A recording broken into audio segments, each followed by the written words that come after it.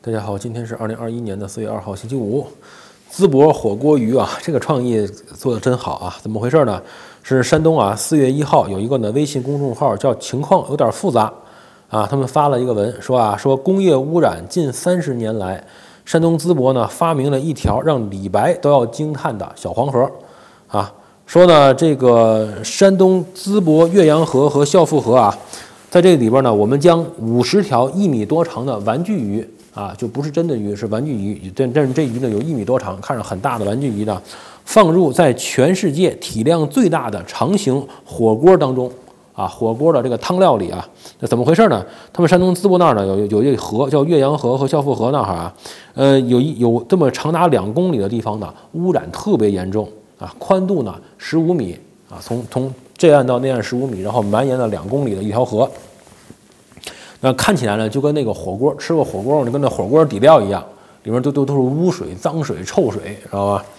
然后呢，说我把这些鱼放进去之后呢，他们翻着肚皮呢在起舞，他们在呢牛油火锅汤底里呢浩浩荡荡的奔赴死亡。还有呢，十根大红辣椒也是那种就是玩具的大红辣椒，搁搁进去点缀着，悄悄唤醒你呢沉睡已久的味蕾。没有花里胡哨的其他的配菜，也没有呢大自然的打扰，一切都那么恰到好处。这是正宗人类活动的馈赠。这锅火锅鱼让人垂涎欲滴的秘诀在于祖传秘方。是由呢相关的污染企业精心熬制呢数十年，内含猛料，至今呢密不外传。那销魂的颜色，那绵长的气味，那无人敢独自享受的口感，绝对配得上“震撼全国”四个字。如果你想体验一下真正舌尖上的中国，欢迎来到美丽的大淄博，约三万平方米，足以载入十吉尼斯世界纪录的麻辣火锅汤底，永远在等你。啊，透过淄博火锅鱼项目的实施，我们期待更多人能关注到淄博的水污染，并推动当地环保部门和相关企业进行整治修复啊。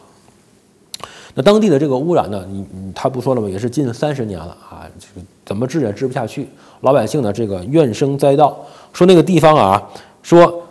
呃以前啊打了一个两百米深的井。井水说现在拿出来一看呢，已经不行了。两百米深的井也是不能喝，洗手都不行，知道吧？洗手那手上都长了白点。现在把这井呢打到了四百米以下，还是不能喝。所以呢，说原先这个地方老百姓啊，每家每户，呃，每个庄子都有井，都有泉，大家就是喝自己的井和泉就行了。说现在老百姓都不能喝了，全都喝不了啊，只能出去买水喝。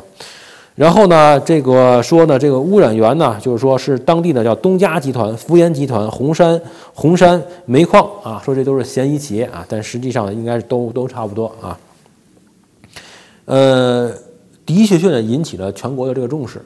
网上呢有他的照片，你可以看一下，真的是，哎，真的是做得好，特别特别像一个火锅。他呢把他把那个一米多长的鱼啊、辣椒什么的扔在那个水里，然后。摆好了一个一个就是大概一个位置吧，然后拿无人机从上往下一拍，你看进去真的像个火锅，你乍一看还以为是个火锅了啊，再一看呢，哦不是是吧？是那个污染的那个臭河啊，呃，拍的还真不错，呃，有视频有照片，网上都有，你自己去搜一下，就说搜这个淄博火锅鱼就能搜到了。我我我说出来这个创意真的很好，人家就是说也是被逼无奈，想尽了一切办法想要整治它，实在整治不了，通过这种方式要引起呢全国人民的重视。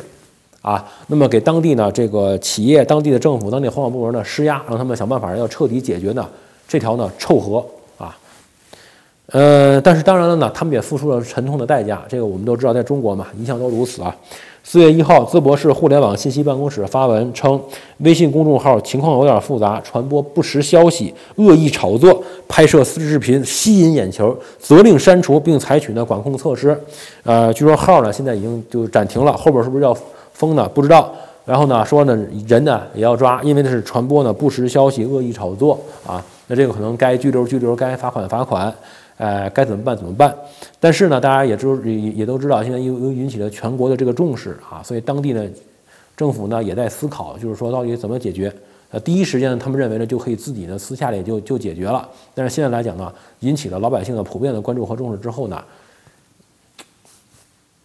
我觉得呢，反正我们应该呢，就是说关注、去传播、去谈论，让更多人看到这个东西。我觉得呢，能不能救这条河呢？我不知道，但最起码呢，对这个微信公众号能把这个东西发出来，这些人应该有一个帮助。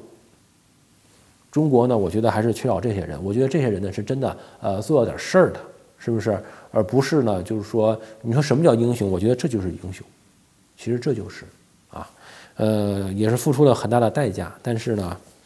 起到他们想要的这个效果，那我想呢，他们也应该想好了，就是说呢，自己做了一个牺牲了小我，但是能够把这河，要是真的能够治理好，让老百姓呢能有一个呢，就是说不那么臭的一条河，然后呢，周围的水能喝，呃，也算是有一个就是说一个成效吧，好吧，那今天聊到这里吧，谢谢大家。